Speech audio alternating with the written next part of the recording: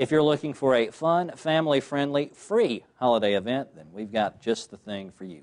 Dickens Downtown, and here to tell me more about it is Jan Pruitt, Executive Director of the Kentuck Museum Association. Oh, I'm sorry, this isn't Jan Pruitt. This is someone from the 19th century. I, I think maybe I'm Mrs. Hudson. I'm Sherlock Holmes' housekeeper. so, well, you look great. well, thanks. Well, we are we're excited about Dickens tonight. We, um, um, you know, the people in downtown Northport, the merchants have been working for for weeks, and now it's here, and we're ready.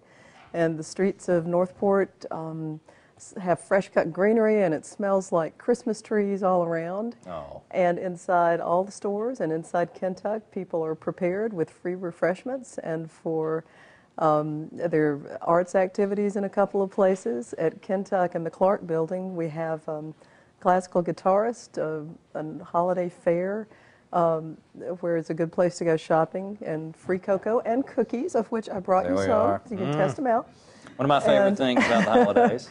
So the the thing that people I'm sure are aware of right now is that there is a little precipitation falling. Just a little.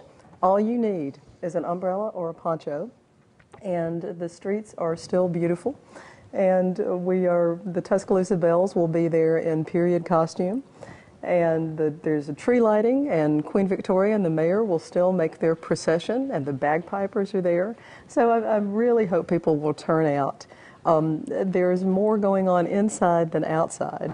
Uh, there are eight different musical acts in different places. Um, outside as well, we have, um, but under covers, we have choirs from four schools.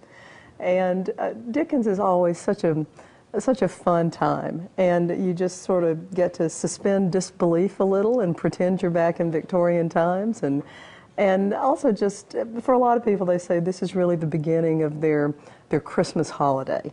Uh, you know, we've had Thanksgiving and we've enjoyed that, and now it's cold and there are gifts to be bought and there's sweets and treats to be enjoyed, and so the merchants of downtown Northport just this is kind of our give back to the community.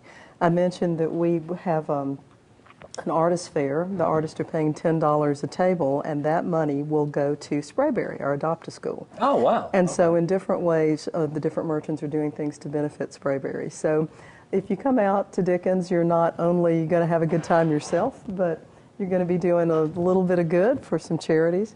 And that is also part of the spirit of the holiday, I think. And you can get you some cocoa, some cookies, some hot apple cider, all sorts Uh-huh. of things that, you know, the Tasty unpleasantness of the rain can be can be driven away. You know, and I think about, you know, in the past, when there was, no offense, no television, you know. There was a you- time before TV, really? it's true. And if you wanted to be entertained, you had to go outside. So I think are. this is an opportunity to, to um, just be, kind of be there in person and have a good time. So anyway, we do want to encourage people to come out and enjoy Dickens Downtown tonight. All right, super. Jan, thank you so much for, for being with us today, and good luck tonight. Thanks a lot. Dickens Downtown is tonight at 5 o'clock in historic downtown Northport. For more information, call 205 758 1257 or learn more online at kentuck.org. Don't go